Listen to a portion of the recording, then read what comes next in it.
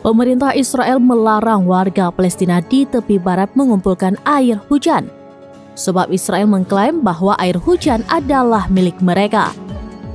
Menurut Amnesty International, ketentuan ini sudah ada sejak tahun 1967 ketika Israel mengambil kendali atas semua sumber air di tepi barat.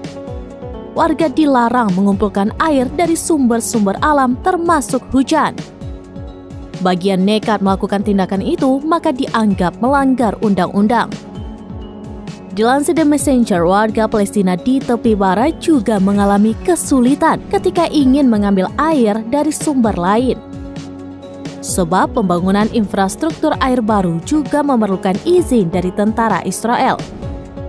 Warga Palestina tidak dapat mengebor sumur air baru, memasang pompa, atau mengubah sumur yang sudah ada.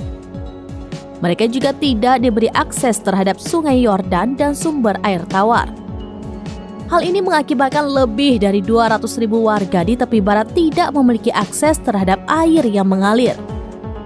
Menurut Amnesty International, pendudukan Israel selama lebih dari 50 tahun di wilayah Palestina telah melanggar beberapa hak asasi manusia termasuk akses terhadap makanan, hak atas kesehatan, pekerjaan, dan perumahan, semuanya terkait dengan kurangnya akses terhadap air yang memadai dan aman.